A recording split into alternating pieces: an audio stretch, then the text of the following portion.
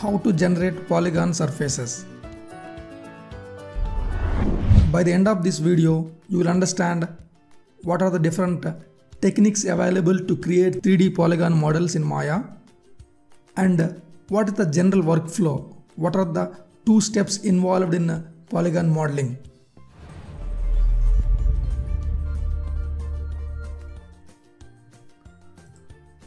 In polygon modeling, there are many techniques to create 3D polygon models in Maya. Primarily, there are three techniques. One is a polygon from polygon primitives, and the second one is uh, creating individual polygons by using uh, create polygon tool or Quad Draw tool, and the third one is by creating either NURBS or subdivision surfaces and converting them NURBS or subdivision surfaces into polygon objects. These are the three techniques available for starting the polygon model. For example, polygon primitives. Somewhere we have to start. Here nothing is there. You just can't start creating polygon model. The, how we created this in the previous video, we have created started with polygon primitives. I have created a plane first. Polygon primitives, plane like this. Create a plane. Then from here, once this is a polygon primitive, once if you have the polygon primitive, from here there is a base for starting your modeling.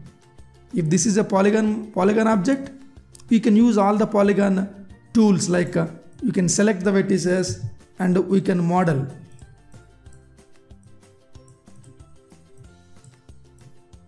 This is basic workflow of polygon modeling. Means we have to start somewhere.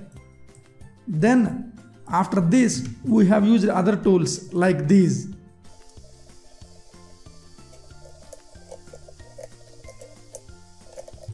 See by using polygon primitive plane in a very short span of time in few seconds we created some geometry some basic shape.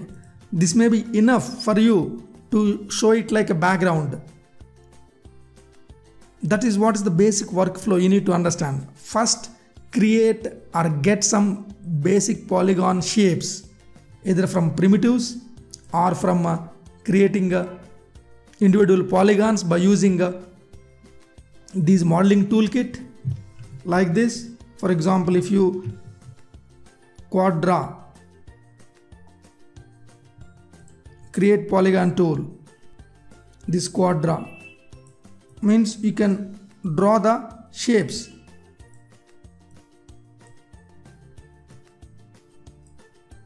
You see uh, now we are able to get the new shapes from this. Simply we can modify like this. This is one example simple example. We will go in det detail about uh, all these concepts.